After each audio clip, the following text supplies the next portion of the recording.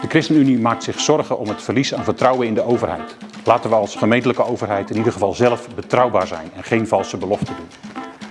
Katwijk staat voor grote opgaven. Denk aan de klimaatmaatregelen. Denk aan de nieuwbouw van scholen. Wat er in en om Valkenhorst moet gebeuren. Daar past wat ons betreft dit jaar nog geen belastingverlaging bij. Dat is eigenlijk volgens ons verkiezingspraat en volgend jaar moet de belasting misschien wel dubbel verhoogd worden. Laat het geld dat er nu dan toch wel even is terechtkomen bij de mensen die het het hardste nodig hebben. Denk aan het armoedebeleid. Denk aan minder bureaucratie in het sociaal domein. Denk ook aan de woonimpuls om starters en anderen aan de broodnodige woningen te helpen.